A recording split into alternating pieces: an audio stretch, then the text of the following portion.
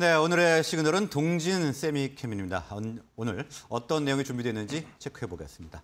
자, 어떤 내용 알아볼까요? 네, 삼성전자와 아주 친밀한 협력사고 삼성전자가 없이는 뭐 그렇다고 해서 동진 세미캠이 없이는 또 그렇게 되겠죠. 왜냐하면 둘 다 우호적인 협력 관계고 삼성전자 동진 세미캠은 갑을 관계라기보다는 같이 동반 성장하는 관계죠.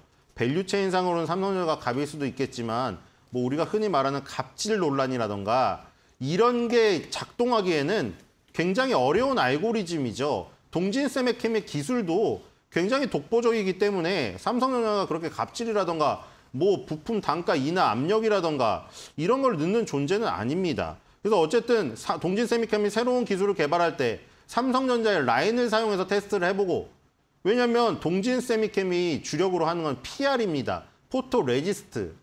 뭐 이른바 딸기잼이든 뭐 그 토마 피자에 들어간 토마토 소스로 제가 가끔 비유하고 하죠. 그 잼을 바르는 회사인데 발라주는 회사인데 그 잼을 발라주려면 그 피자를 만드는 라인이 있어야 될 거 아닙니까? 근데 켐은 잼만 뽑아내는 잼 공장만 있는데 그러면 피자 라인에다 테스트를 해봐야 되는데 그거 어디서 하겠어요? 삼성전자가 피자를 만드니까 웨이퍼를 거기 가서 테스트를 한다고 하면 얼마나 좋은 기회예요. 거기서 만약에 테스트가 굉장히 좋으면 삼성전자 따로 뭐 그 저기 quality 테스트 할 필요가 없죠. 우리 라인에서 시험해봐도 된 거니까. 그러니까 둘이 그런 협력 관계인 거예요. 그리고 지금 EUV, EUV가 이제 극자외선이잖아요. 그래서 그 전에 무슨 심자외선에서 이런 거 쓰는 것보다 파장의 길이가 짧기 때문에 그러니까 그 연필을 짧게 쥐는 거죠. 길게 끝에 자, 끝에 어, 뒤에 그 지우개 달린 쪽 잡고 쓰는 사람보다 짧게 잡고 쓰는 사람이 글씨 훨씬 잘 쓰잖아요. 악필이든 뭐 그걸 떠나가지고 그래서 이제 그 파장이 짧은 그 부분이 계속 부각이 되다 보니까 ASML의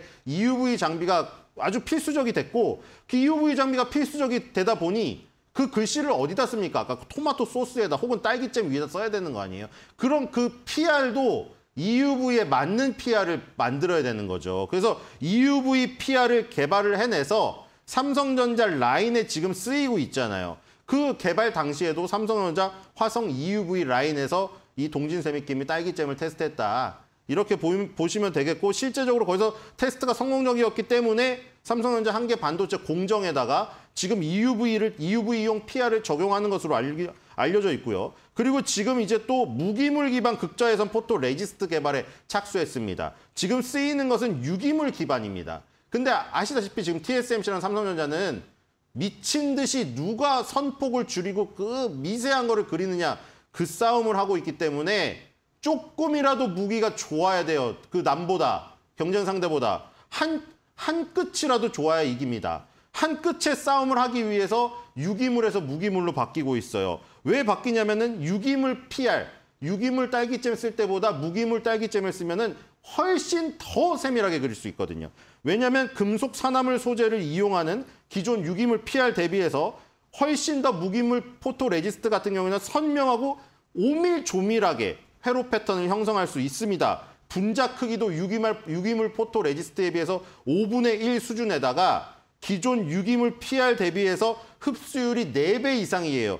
흡수율이 4배 이상이라는 것은 미세 회로 패턴 새기는데 유리합니다. 그냥 아까 그 똑같이 생각하면 돼요. 토마토 소스랑 딸기잼이 있는데 얘가 흡수율이 더 높은 게 생겼어요. 그럼 내가 글씨를 썼는데 흡수율이 더 높으니까 더 잘 새겨지겠네요. 그러니까 더 유리하죠, 경쟁에서. 이 무기물 PR 요 개발에는 일본 회사가 그동안 적극적이었는데 동진 세미캠도 뛰어들고 있다. 그러니까 지금 삼성전자가 TSMC랑 나노 경쟁에서 이기려면 ASML의 EUV 장비가, 장비도 필수적인데 그 EUV 장비를 그 사용할 그릴 거기에 페이스트를 발라주는 애도 중요한 거죠. 그 페이스트도. 그러니까 동진쎄미켐과 같이 가면 좋겠죠. 물론 일본 업체 게 뛰어나서 쓰겠지만 먼저 동진쎄미켐의 그 정도 수준의 어떤 포토 레지스트를 개발했다. 그럼 삼성전자 입장에서 국산을 쓰, 쓰, 쓰는 게 훨씬 더 대외적으로도 좋고 당연히 좋죠. 단가 협상에서도. 그게 이제 원하는 대로 올라오면은 그렇게 할 마음은 있다 이거죠. 왜냐면 국산 당연히 팔은 안으로 굽는 거 아니겠습니까? 일본이 일본 거 쓰는 거, 중국이 중국 소재 부, 부품 장비 쓰는 거 그거 사실 욕할 수 없죠. 자기네 거 자기가 쓴다는데 우리도 우리 우리 거 쓰니까요. 대신에 어느 정도 수준 위로 올라와 줘야 되죠. 근데 EUV PR 무기질 거를 지금 쓰고 있으니 유기질도 유기물도 어느 정도 수준에 올라오면 삼성전자가 쓰겠죠. 그러니까 그런 동반 성장의 관점에서 동진쎄미켐도 그에 걸맞는 성장을 보여주기 때문에 삼성전자도 그 quality를 보고 선택을 해주는 겁니다. 무조건 국산이라고 협력 파트너라고 실력도 안 되는데 써주질 않아요. 그러니까 지금 동진쎄미켐은 실력이 되기 때문에 삼성전자의 파트너로서 지금까지 함께했고 앞으로도 함께할 가능성이 높다 이렇게 보입니다. 네, 동진쎄미켐 기술력을 인정받고 있는 상황인데요. 어, 가격 전략도 좀 알아보겠습니다. 네, 20개월 선을 다시 회복해서 중요합니다, 이게. 지금 20개월 선을 2022년도 9월 달에 깼지만 V자 반등으로 쳐 올리면서 지금 올렸습니다. 지금 다들 2차 전지에 관심이 사실 많지만 지금 미국에서 주도를 하고 있는 지수는 필라델피아 반도체 지수예요. 밑에서 전부 60개월 선에서 역 head and shoulder의 모- 모양이 나왔거든요. 역 head and shoulder, 여기 shoulder, 머리, shoulder. 이게 지금 거꾸로 물구나무 서게 하는 모습이 됐죠. 하락에서 전- 하락에서 상승으로 전환할 때 나- 나오는 초기의 모습이에요. 월봉이나 주봉에서 그 모습이 나오면 굉장히 중요한 모습입니다. 동진쎄미켐도 마찬가지죠. 어깨, 머리, 어깨, 그쵸? 역 head and shoulder가 완성되고 20주선 위에 있잖아요. 지금 세계적인 반도체 소재 장비 부품 회사의 모양과 지금 똑같이 나타나고 있습니다. 그리고 월봉에서 20개월 선을 강력히 뚫었고요.